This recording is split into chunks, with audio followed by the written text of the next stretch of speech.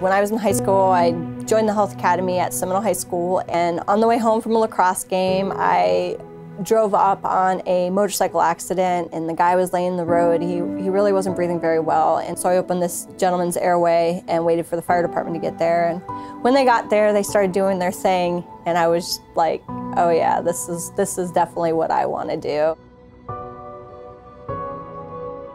I noticed that a lot of my coworkers were dying of cancer.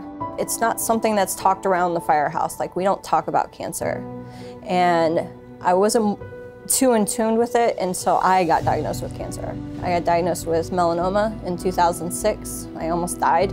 I got diagnosed with cervical cancer in 2013 and I didn't have those classic markers. I didn't have the, the markers that, that would make me have cervical cancer. When my doctor found the lesion, she went through my chart. She was like, where did this come from? Where did it come from? And I said, my job. I started doing some research and I found that firefighters had a 9% higher chance of getting cancer and 14% higher chance of dying of cancer. So after doing some more research, I found that for Florida, specifically for Florida firefighters, melanoma was the number one cancer, and that's what I had as well. When we walk into the doctor's office, it's not like, hey, what's the treatment plan? What's the prognosis? It's how much longer do I have to live? Because when we get diagnosed with cancer, we get late stage aggressive cancers that usually kill us within months. Florida Hospital has been great. I went to see Dr. Holloway and I was a nervous wreck. I was almost in tears and he just kind of put his hand on my shoulder and he says, everything's gonna be okay. You're gonna be fine. We got this. And that was just enough to know that I was gonna be in good hands.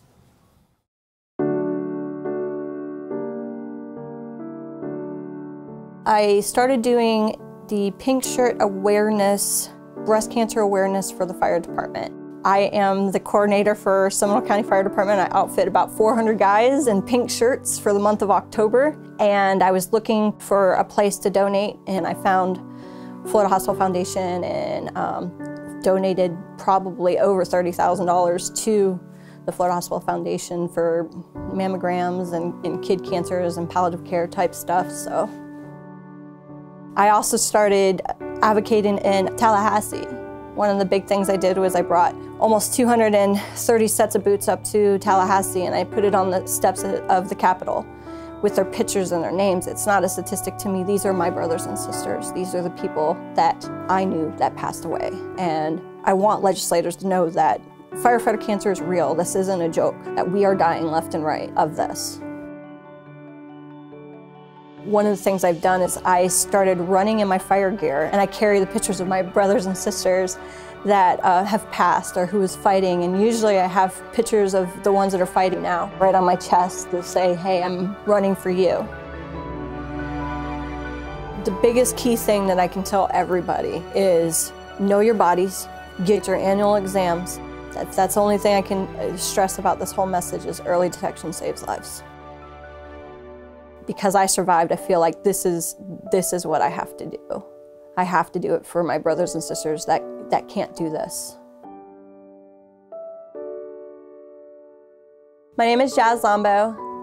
I'm a firefighter, an advocate, and I am a cancer survivor.